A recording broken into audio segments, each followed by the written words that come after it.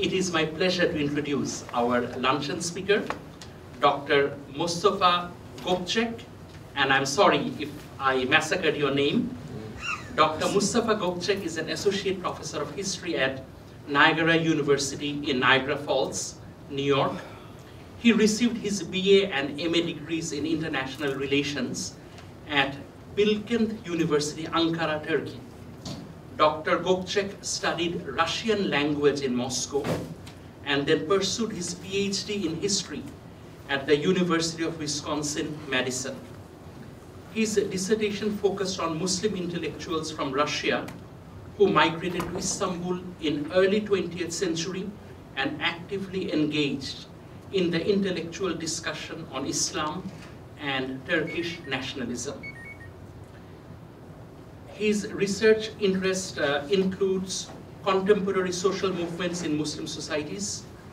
Dr. Gokcek currently teaches courses on the history of the Ottoman Empire, the Middle East, Russia, and Central Asia.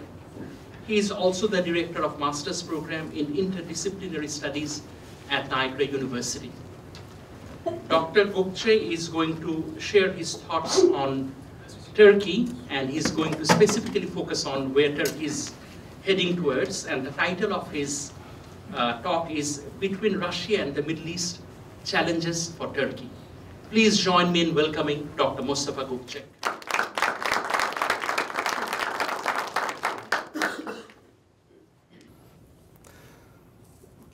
Thank you, Dr. Um, Muhammad Ilahi. Uh, it's a pleasure to be here. Thank you um, for organizing this great uh, event, a day full of intellectual, uh, stimulating activities, thought-provoking uh, panels. It is a pleasure and honor to be here. Uh, I would also like to thank uh, the Department of International Business and also the Academy of International Business, the U.S. Northeast chapter, as well as the Peace Islands Institute for their cooperation in putting this panel together and having me here. well, um, in my talk, I will be addressing Turkey in its relationships uh, with Russia and the Middle East. We tend uh, not to see those connections all the time very well, um, but I hope my talk will uh, bring out some of those and put it in uh, a larger context. Uh, it is going to be a different style, so I hope you will uh, bear with me. Whenever I tell a Turkish guy that I study Russian-Ottoman relations, the first question is this. Did Baltacı Mehmet Pasha let the encircled army of Peter the Great in 1711 at Prut go untouched because of Yekaterina? well, and the scene is depicted sort of in this painting. I don't know what Baltacı Mehmet Pasha did inside the tent with Yekaterina, since I wasn't there, but I'm glad that at least his name was not Mustafa, because there are enough Mustafas who are troublemakers in Turkish history, and we don't need another one. Turkish-Russian relations in history, as a historian I have to address these historical ties, are not always remembered with friendly exchanges. As I was preparing to make my first journey to Russia on an educational exchange program in 2000, the counselor at the Russian embassy in Ankara proudly told me that out of the 22 wars Russia had with Turks, the Russians won 21 of them. It might very well be true depending on which battles you count. However, Turks may get credit for the two centuries long Golden Horde rule over Russia, which may be the very reason for the emergence of a unified Russian Empire. My own research on the critical role of Kazan Tatars in promoting Turkish nationalism in the late Ottoman Empire indicates the extent of the Turkish-Russian relations much beyond the battlefields, especially the mutual inspirations between the Soviet Union and the Turkish Republic in their formative years are in dire need of scholarly attention.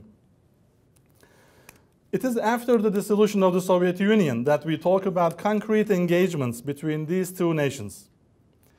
On the economic side, suitcase trade, which, is, which was often called bavul sparked movements of goods and people between the two countries. As Russians were enchanted with the intoxicating lure of the shopping malls, Turkish corporations found opportunities for chain stores and major construction projects in Russia. Government pipeline projects of Blue Stream, South Stream, and the Turkish Stream tell us that the potential of the Turkish-Russian cooperation may have a greater future than we can think of. More importantly, Russia and Turkey found in each other an alternative to Western economic dependence. After all, both countries are both European and not at the same time. They both want to be engaged in European organizations, but both are too proud to be told to be more democratic. And from the Western perspective, Russia cannot be really European for obvious reasons. And Turkey also cannot be truly European for, well, other obvious reasons. Looking at Turkey's role in Russia and the Middle East, we definitely and surprisingly observe some common elements. Turkey is popular both in Russia and the Middle East for its kebabs, baklavas, as we have had, and yogurt, obviously, but also for its beaches. For both Russians and Arabs, Turkey is Western enough, capitalist enough, affordable enough, and most importantly, close enough to have a good vacation. For Russian women, Turks make strong family men, and for Arab men, Turkish women are Islamically attractive. Although Russian tourists know Antalya better than Turkey itself, you should see the Arab sheikhs in their 15 passenger vans flocking for hot springs. In both regions, Turkish textile is pretty popular, but for different kinds. Russians love the Turkish leather coats, and the Arab women love shopping for Turkish style lingerie in fashionable hijab stores. I already mentioned the Turkish construction companies. They build seven star hotels in Dubai and every size of shopping malls in Russia, but still they contribute to the rise of capitalist taste equally among the Arabs who have and the Russians who have not. I have to mention the Turkish soap operas. They are insanely popular in all over the Middle East. The shows Noor, at least until they were banned in some countries, the shows Noor and Sanawatu Day are as popular as the Super Bowl games in the US. So much so that the Saudi Grand Mufti issued a fatwa that only God's enemies watch them. because a lot of women were seeking divorce after watching these. a cab driver in Egypt was passionately describing to me how infidel Turkey was, and when I asked him how he knew, he told me that it was these Turkish TV shows he watches every week. Common images of Turkey from both the Russian and Middle Eastern side is not confined to the few cultural elements. For the Russians, Constantinople represents the once holy city where the head of the Orthodox Church sat until the infidel Turks conquered it. For the Muslims of the Middle East, Istanbul was the seat of the caliphate until infidel Atatürk took it. Well, nobody really talks about any dreams of reviving neither. Another element Turkey has to offer in both regions is the Turkish schools of the Hizmet movement. Hizmet schools, now officially in over 160 countries, have been popular among the Russian people, and the Hizmet institutions have been quite appealing among the Muslim scholars in the Middle East. However, these global-minded schools suffer setbacks under certain authoritarian regimes both in Russia and the Middle East, the governments seem to be concerned about these schools' export of Turkish identity. Ironically, as Turkey gets more authoritarian, the government is concerned about Hizmet's betrayal of the Turkish identity. Supposedly, Hizmet-related police and prosecutors caught Erdogan red-handed channeling billions of dollars to his cronies and family projects, as a result, the Hizmet movement's leader, Fethullah Gulen, we were supposed to have a picture of him there, um, who resides in Pennsylvania, was already declared by Erdogan-controlled media a talented spy who managed to work both for CIA and Mossad and a traitor aiming to conduct a Sharia takeover in Turkey all at the same time. The latest revelation a couple days ago was his decades long membership with Freemasons. And today, Erdogan's media published documents showing how he informed on other Islamic communities to his friends among Turkish military coup makers in 1971, but we didn't read about how Gulen still served jail time during the coup. We couldn't read about it on, on the newspapers online because power was lost in entire Turkey a couple days ago, and we have no idea if it was a terrorist attack or if there were cats going into power stations. Because this was the suggestion by the Minister of en Energy, uh, who was trying to explain the power outages during the elections last summer, that there were cats going into these electric trafos. And, these, and it exploded Twitter. You can imagine uh, the Turkish creativity as exemplified in these. This guy says, I'm going to the uh, electricity uh, power station, guys, uh, saying his last prayers. I know you expect me to talk about more serious issues. Is Turkey becoming neo Ottoman, or is the forecast of Turkey as a model for Middle East completely dead? Is Sultan Erdogan going to declare himself as the next caliph, or is his primary inspiration Putin? Do Turkish elections resemble more the ones in Syria or the ones in Russia, if there is a difference between the two?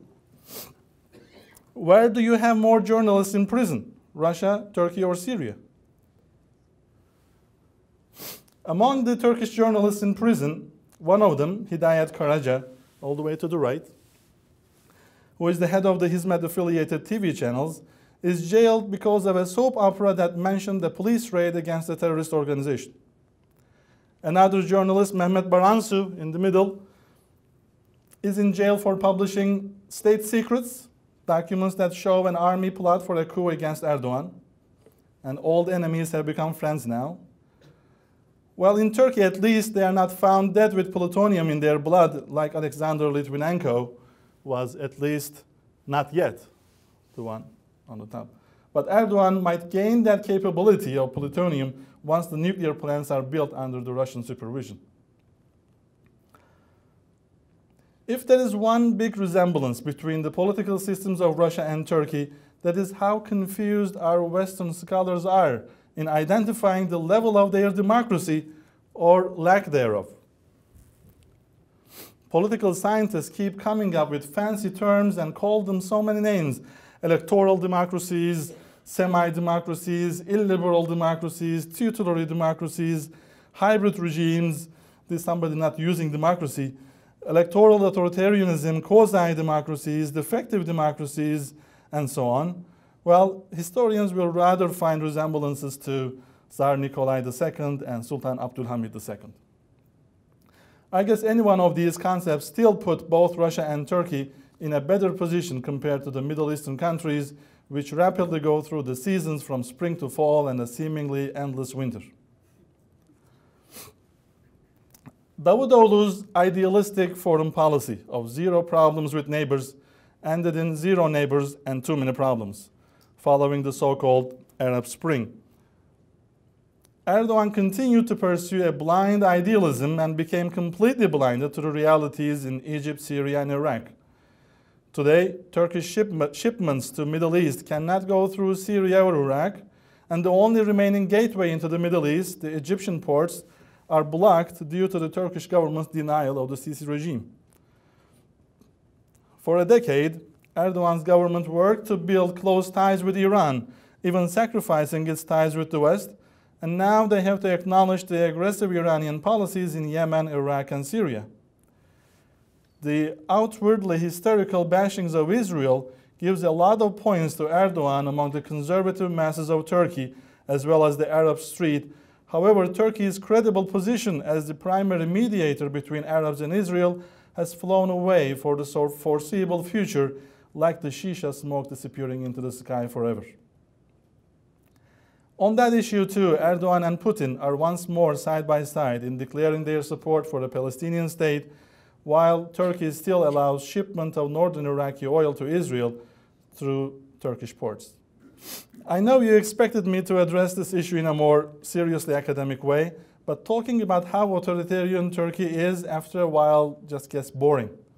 As regimes get more authoritarian, it makes more sense to use sarcasm and satire because that remains as the only way to make sense of a senseless situation. That is why in Turkey today, the number and circulation of satire magazines increase every day. And that's also why Twitter has been the primary medium in which frustrated millions share their one liners with others. My fifth grader son told me last night, as I was going through these notes, that, quote, you guys, that is you, should not post any of this on Twitter, otherwise, I'll be in trouble when I go to Turkey. and him and I didn't know that this would be recorded. At least I enjoyed preparing for this talk much better, and I hope you enjoyed listening as much as I did. Thank you.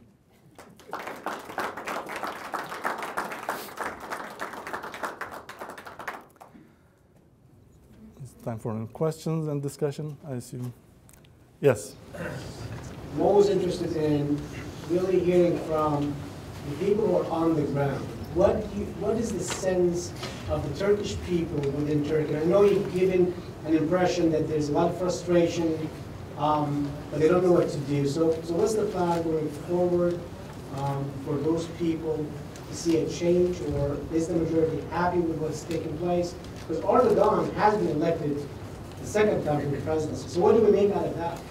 For the presidency, first time, but he won all the elections that he has gone into uh, in the last 10, 12 years. So it is a big puzzle, and there is really no strict like majority opinion on how come he wins all these elections. There is clearly a major group of people who support him for various reasons we can discuss. Um, but he wins the elections how? Uh, some give it to the cats, as I mentioned. So some believe that there is serious uh, electoral uh, manipulations through various ways. I personally don't believe that it is that serious to, I mean, even if there are some, it is not as serious to change the balance from, let's say, 40% to 50%. I mean, in the last election presidential, he got 52% it would be really a very big uh, scam to be able to pull that out for 10% change or anything. So uh, that's not my opinion, but there are some who, who really believe that that is the case. There are some others who, well, those who support, support for their own reasons. Uh, the latest polls, I think, show the AKP at around 40%, uh, slightly over 40. I haven't seen anything that's really making a big case for less than 40. So it is still a great majority. Uh, the only hope for the opposition is the possibility of uh, AKP not getting the uh, single party uh, majority. Uh, if they get less than 40%, maybe there will be a chance for a, a coalition government. Uh, so it is, it is still strong.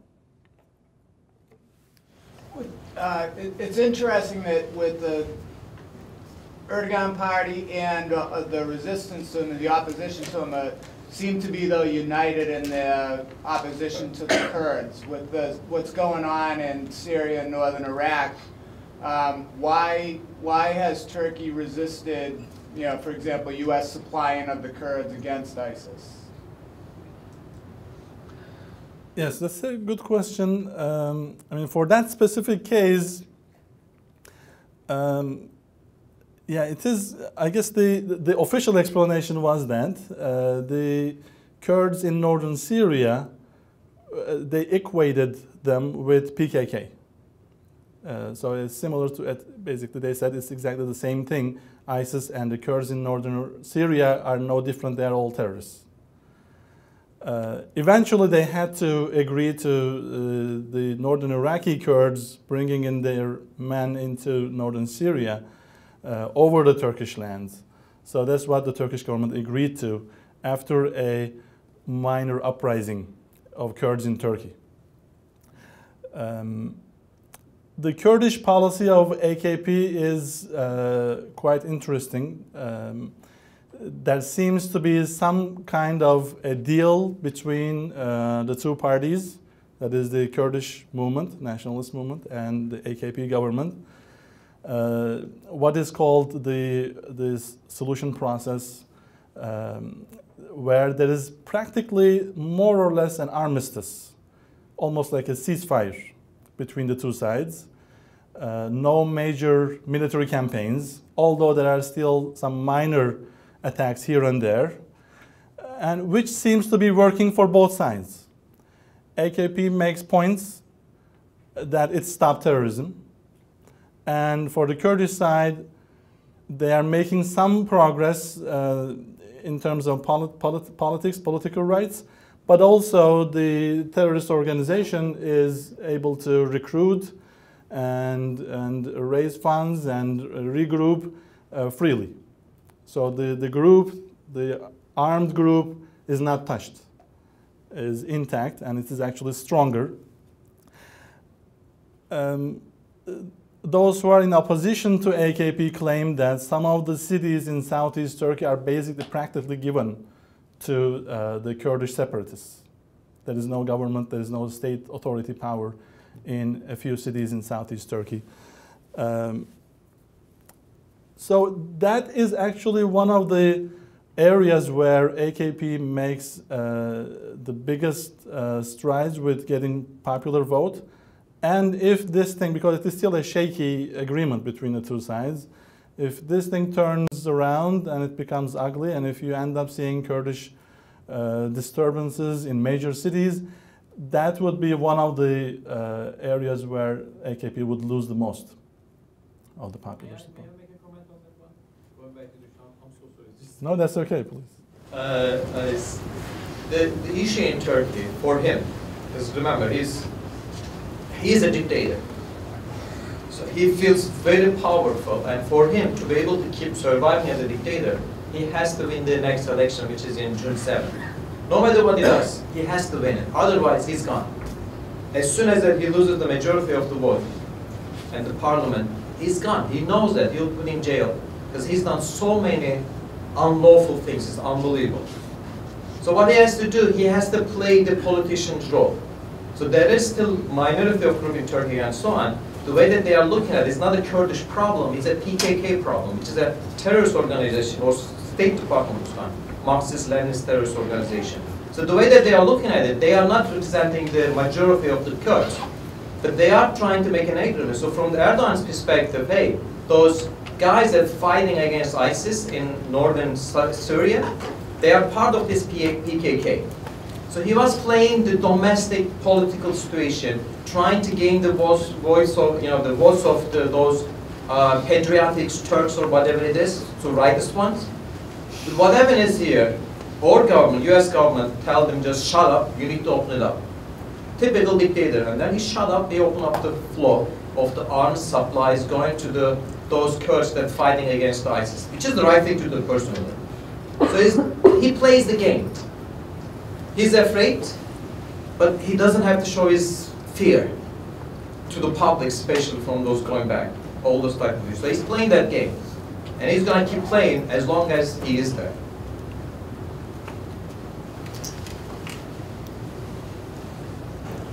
Yes. I have a question. Turkey has been trying to enter the European Union for a long period of time.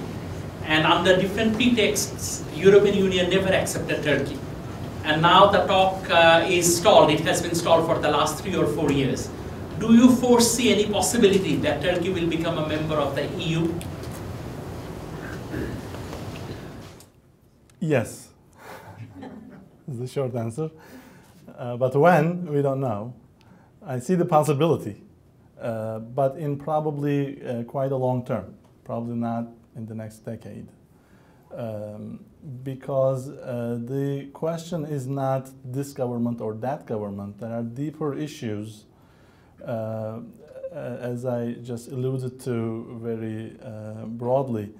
Um, how the Western perspective does not really view Turkey as uh, innately, essentially a part of Europe, and uh, how uh, the Turkish governments are usually too proud to uh, fit within the confines of the European laws and regulations and demands. Um, so there are issues, the way I see it, on both sides. There's a lot of double standard applied by European Union, which is basically a pretext uh, to cover up the other cultural uh, reasons uh, deep beneath. And then on the Turkish side, there is a lot more to be done to uh, make Turkey a better democracy, uh, where there are, there's real separation of powers.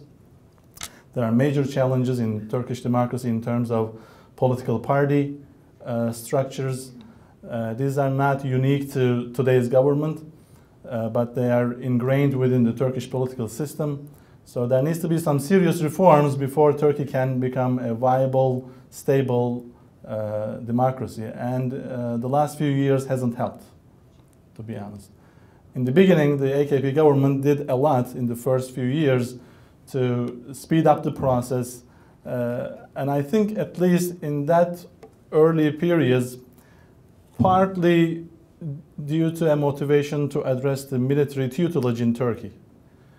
Uh, the government uh, made a concerted effort to, to speed up the process and bring Turkey closer to European Union. Uh, but over time, both the, uh, the rise of conservatism in Europe and the changing conditions in Turkey uh, made it quite difficult now.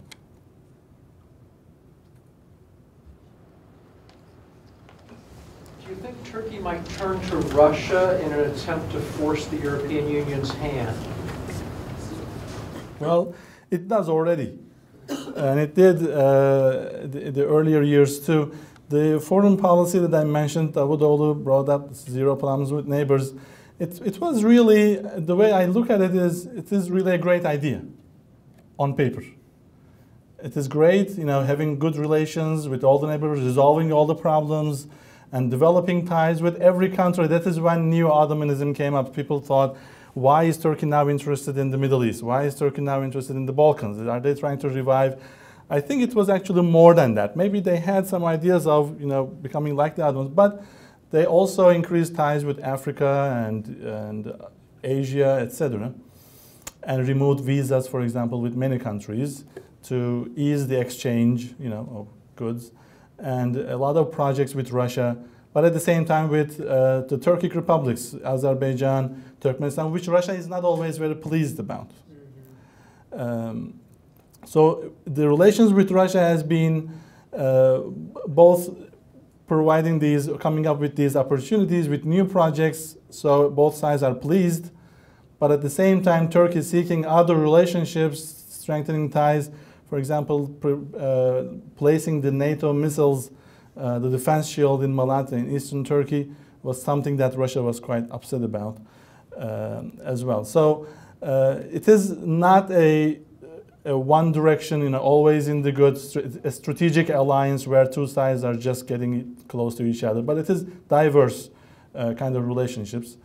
But especially after getting removed from European Union or reducing the relations with the European Union, I think there has been a closer uh, development of relations, not just with Russia, but with other, like China, for example. There has been a recent issue about, uh, per, uh, was it purchasing missiles or developing a nuclear plant in Turkey together with China, and it created a huge tension with the Western uh, countries because it, it involved some military equipment, and the NATO said, no, we can't do that.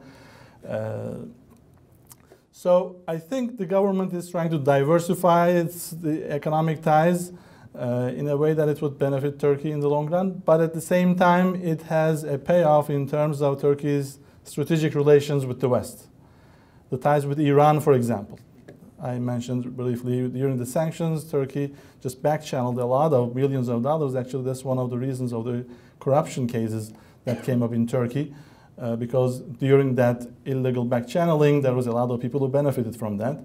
And uh, and it basically cost a lot of the credibility of Turkey in the West. Uh, then it's a choice. What is more important, right? What is your foreign policy priority?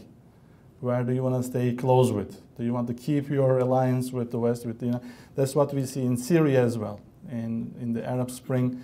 Uh, I think the government, there is definitely a lot of this hyped up self-image of seeing Turkey as a regional power and even a global power. Who knows? You know, why not? Uh, but when you look at the reality, the end game, what you can really change, what is your real power on, on the ground, uh, that is where the Arab Spring hit hard, uh, Turkey's position.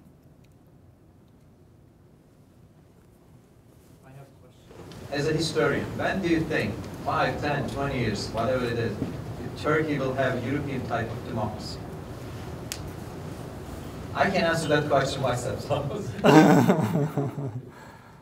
Okay. Um, well, as a historian, I look back at the history, not the. yeah, it is. It would be, I think, mistaken to give any specific years. It is just uh, developing these institutions. I think uh, in the first panel, uh, Dr. Kilani made that point. Developing these institutions, making sure the rule of law is in place, which is not, which is not something that can be done overnight. And actually, in the past few years, that's what we have seen. That's about more about mentality, right? It's not just about having the law sit there. It's a major improvement if you have the laws passed, but then you might still have the law and nothing in practice. You need to have the people educated enough, who have a global vision, who have global experience, uh, who, who have the taste of freedom. That's what I actually call that. Because um, an experience that I had in Egypt, I was sitting with my Arabic teacher, and and he was telling me all these beautiful regimes. This was before the Arab Spring. Beautiful regimes all across the Middle East. To me, it was all authoritarian regimes, right? Uh, autocrats, really single-handedly. For him, it was there was one republic, there was the kingdom, there was this, there was that. I was so amazed. How can you be so proudly talking? I said, "What about democracy? Isn't it better?" He said, yeah, it's another regime type, why not? But, you know, we are happy with it. Maybe it is true that you know, having stability is better than civil war, but uh, also what I recognize, what I realized at that moment is that not seeing, not having that experience of democracy, that feeling of freedom, feeling of freedom of expression, that you can speak your mind freely, that is a major uh, uh, like absence that you cannot uh, make up with anything else. And that is what actually that was made at a point in the earlier panel too, that the Arab Spring actually gave the people that taste of freedom, that the possibility that this can be done. And I hope in Turkey there will be a day when the majority of people will actually ask for more rights and more democracy, not just voting. The point that was made that a lot of people perceive as the right to vote or having that voting mechanism is enough to have democracy. Actually, that is what we are suffering with in Turkey right now because the for the government, anything they do is justified because they have the majority. So they can do anything they want and it's going to be dem democratic. And if you oppose that, you're actually applying double standards. You're not truly democratic because they win the elections. So that is when the example, other examples such as Germany before World War II comes in. Uh, anyways. Yeah, I wanted to go back to your point of satire and how people are, you know, Turks strike me as people with a very good sense of humor, and, and you're a good representation of that. Um, and you know, it reminded me of Bassem Youssef, uh, an Egyptian Jon Stewart, who became very well known when he appeared on, on the show. And I was thinking about how Jon Stewart, you know, some of those political satire shows, Stephen Colbert, um, became so powerful in America that they were able to mobilize um, this, this movement that um, helped elect President Obama. Um, and then Bassem uh, Youssef, uh, Egyptian Jon Stewart, when uh, he started that, recreated that move, he was actually very successful in Egypt for a while, and then the government cracked down.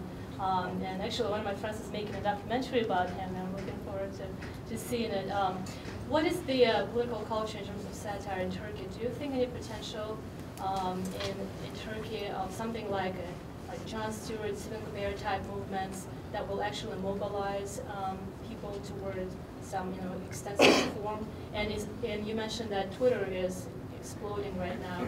Are people is the government cracking down on that too, the way it is in, in Egypt? Uh, the use of satire is expanding, but I think it is not at the level that it would create a popular movement yet. Uh, Twitter is probably more effective in that sense. Facebook and Twitter, they are both used very widely um, among certain portions of the population. Okay, uh, Facebook is used more for certain reasons. family connections, you know, your own friend circles. Twitter is more for you know getting the news, following what others think, etc. So it's used for different purposes, and for political purposes, Twitter works more effectively. Uh, what happened before the elections in March? There was some effort by the government to uh, restrict social media. There was a ban on YouTube. There was a ban on Twitter for a while. After the elections, they were uh, eased and everything. Uh, still, there has been some laws that are passed which give the government the ability to shut down any internet content. It, there is still a judicial process, but at least they have the ability to block anything immediately, uh, at least for a certain period of time, for a few days at least. So um, the use of Twitter is powerful, but I think there is also, we need to consider the social dynamics, why the AKP is getting the support that it gets. Okay? What is the base, the popular base of AKP? And when we look at the popular base, that is something that uh, I noticed after the elections, actually, that came up uh, more importantly, uh, that people in Turkey, most people do not really read much.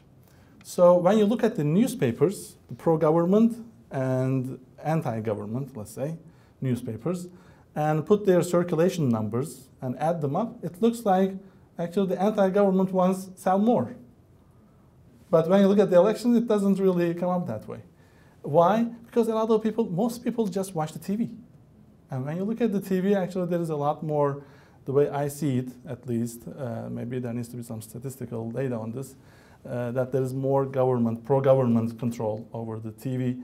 Uh, and then you can, of course, choose which channel you want to watch, right? The pro-government one, which makes you feel good, or if you're anti-government, you're watching the anti-government one, makes you feel good. So uh, people make their choices. Um, but there are other dynamics, identity issues, economic aspect, that, that make people keep voting uh, for AKP, although the, which this results in a greater polarization. More and more people, certain people are entrenched in their uh, pro-government identity, and more and more, increasingly, half the other half of the population are entrenched in their anti-government position. And actually, the current status quo works to the hands of the government, so they are happy with that polarization. We don't really see a major effort to reduce that polarization, unfortunately, and the election times don't help. Yes. Uh, during your talk, which I very much enjoyed, you mentioned a number of uh, economic connections that Turkey has made over the last 10, 15 years with various neighbors and, and countries further afield. And since money talks or money attracts, uh, where do you think, at the moment, on the balance, those trade connections are, are pulling Turkey? Are they being pulled toward Russia? Is it south to the Middle East, west, east, far east to China? Well, as I said, I think uh, the overall policy economically and in terms of foreign policy, foreign economic policy of, of the Turkish government has been to diversify its connections. So uh, we don't necessarily see an increase in economic relations with the West, but I don't really see it as seriously diminishing as well. Uh, there is definitely a major increase of involvement with the Middle East, attracting a lot of uh, oil-rich countries' money into Turkey. Uh, Dubai, Kuwait, Saudi. Uh, but yes, there is, there is a visible increase in Arab presence, both of uh, tourists and maybe certain business uh, investments. But it is again not a dominating presence, I would say. Uh, well, Chinese dominate everywhere, not just Turkey. Um, so in that sense, I don't know. I'm not the expert on that field, so I don't want to make any uh, specific statements. But uh, I don't really see a, a, strong pull to any direction at the point. Uh, it is more Turkey's uh, geographic position. Well, we should give some credit to also the private enterprise. Uh, it is not just the government, but the private businesses have also used opportunities in many other countries. Well, the way I look at it, I also see the rise of Turkish economy partially due to the Hizmet movement's connections This is not something that is often mentioned in the mainstream uh, studies on Turkey, but uh, Hizmet did not just open schools, but it established connections with 100 and more than 160 countries. When you have people there who speak Turkish, who can greet you at the airport, who can introduce you to the local businessmen or officials, that provides opportunities for businessmen. And, and Hizmet did not just send teachers into those schools, but they also sent businessmen to make investments in those countries. So, uh, so I think at least part of the current Turkish economic, uh, if we can still talk of a success, part of the credit should be given to those Hizmet connections, which the government also uh, supported, at least in the first uh, half, more than half of its, uh, its term. Yes. What is the effect of uh, the influx of refugees from Syria, estimates as many as a 1000000 Mhm. on Turkey? And is there any possibility that their status could shift, uh, if the political winds were to allow, from refugee to immigrant? Yes, that's a very good question, important aspect, and it is actually making a major impact on Turkey that is not visible much from outside, and even Turkey, it is not much of a discussion. We don't really see policies developing about it. We don't really see much, uh, at least official action being done in terms of accommodating. There has been the camps that are well taken care of, but from the camps to the street, how did people move? uh, I don't think there was much direction, control, or guidance that could have been given, that could have given Turkey a huge advantage, actually. This human catastrophe could be turned into a great gain for Turkey, Turkey human capital. But unfortunately, I think that's a huge missed opportunity for Turkey. What we now end up having in our hands is uh, hundreds of thousands in Istanbul. Now, where are you going to go when you're going from a small town well, everyone is in Istanbul, so you want to go to Istanbul as well. So now you have, uh, I think the estimate is put more than a million, maybe close to a million and a half uh, Syrian refugees in Turkey. So in Istanbul and in some southern cities, especially Gaziantep.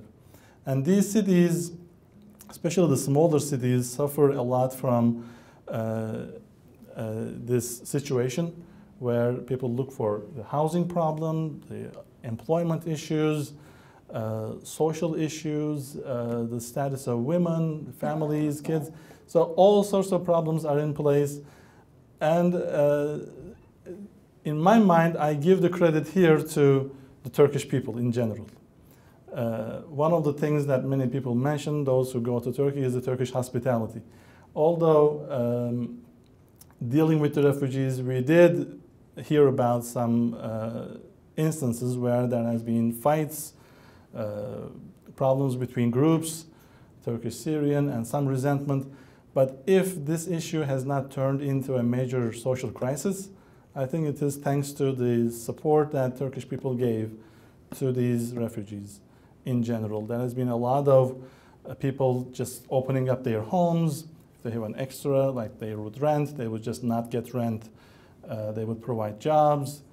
Uh, so there has been a lot of support that is given at the social uh, level by the Turkish people in this process. And in the future, yes, I really don't see them, most of them going back.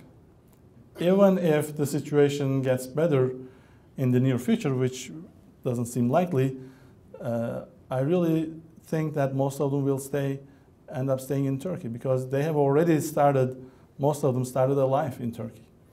They ended up having a house, living, starting living somewhere and having a job. And the kids going and the hospitals, you know, free healthcare and things like that. So they have now adapted more or less to the life in Turkey, which is definitely going to be much better than whatever they will go back to. Uh, so, uh, so yes, in the near future we will see this uh, Syrian uh, or uh, past Syrian Arabs, now Arab Turks. Syrian Turks in Turkey. Yes. Yes. Um, I just came back from a conference and we were talking about social media. And right now, the general public is much better at social media than government. But do you see that changing at any time in the near future where governments will start to use social media to their benefit? What do you mean specifically when governments using uh, social media? Well, you see a lot of the controversy and conflicts against governments have come about through social media. And governments don't seem to be adopting social media very rapidly. And so at some point, government is going to realize that they could use social media to their benefit. Do you see that happening anytime soon? Actually, it did happen in Turkey. It's a very interesting transformation of Erdogan himself, because in the beginning, uh, like when Abdullah Gül was the president, he would use the social media. Uh, and Erdogan actually made some comments that he didn't believe in the social media, that it just didn't make sense, nobody would use that. I know he made some specific comments against it. But then I think at some point, once he realized that it is making a real difference, a major power, then he adopted it. Although I don't think he still uses it himself, but people around him use it actively. And also, before the elections in past March uh, last year, he, uh, I think the AKP organized very well, very effectively in the social media, activating their members, their party organizations. That's one of the strengths of AKP. And Erdogan, with his political past, you know, he knows how a political party can organize among the people very well. So these local organizations, they organize very well and they uh, had their own presence in Twitter and, and Facebook uh, very strongly. So you have both sides heard on the social media. And it is still, to a certain extent, not as active as it used to be before the elections, but still you can find a lot of pro AKP voice uh, coming out in social media as well. That's one of the other reasons why the party still holds strong. We have time for just one more question. I think that was the question. I don't know if you. Actually, my, my question is, uh, Okay. were you referring to in Turkey only or you know, around the world? I was talking more around the world. Okay, then I Not want, just in then Turkey. I'd like to share with you a a good example. It just happened in the recently. Actually, end of last year, Taiwan has a, a general re-election, and uh, the ruling ruling party is a KMT from Chiang Kai-shek, if you know, you know, you know, re- retreat was from China, right? You know, defeated by the Communist Party uh, and went to went to Taiwan. So they have been ruling, except uh, there was eight years, two term by another party called DPP. Then, then end of last year, actually last year was a you know general general election, and uh, the younger people they use uh, internet, social media to actually form you know a very powerful uh, census and influence. But government refused to adopt those. They even gi- give them a very funny you know nickname. Okay. However, the capital city Taipei um, Taipei was supposed to be the stronghold of uh, the ruling party, and also the son of you know previous chair of KMT was nominated to be the candidate, and the, the, the DPP, the actually the second part in, the, in that country or that island, they didn't have uh, strong enough candidate to fight with, okay, and at the time there was another funny things happened in the best hospital in Taiwan, National Taiwan University Hospital, also in Taipei, the capital city. The director of emergency room, this gentleman, he was persecuted by something and he got very frustrated. He said, if government like this, I wanted to solve, you know, fix the problem myself. And he never been in any, you know, political position at all. But then what happened is, you know, those uh, young people, they wanted to, they want to fight for so-called social justice, righteousness, etc. Through the social media, support him, and he won the election. He is now the, ma- the, the mayor. And what he did was this, you know, the first day he became the, uh, the, the, the mayor, he started implementing social media and requesting all the, all the, you know, the, uh, the, the, the government officer in Taipei, you know, municipal government to use that. And actually, they use things called Line.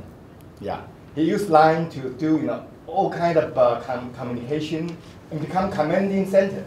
So a lot of you know uh, problem happened, including there was a airplane crash not too long ago. They use those to make you know the uh, take action within such a short time, which you know actually shame the central government. So central government to the extent the, they have to say that oh we need to learn about this. So they actually had some seminar. But how much they progress we don't know. But this government they start using it and make it very efficient and very you know active. So he has been considered. Next year will be the presidential re-election. So the two parties still you know what compete with each other, right? Now the social media's power supporting this mayor say, why don't you do that? Yeah, interesting. That's great. Thank you. Thank you. Thank you very much.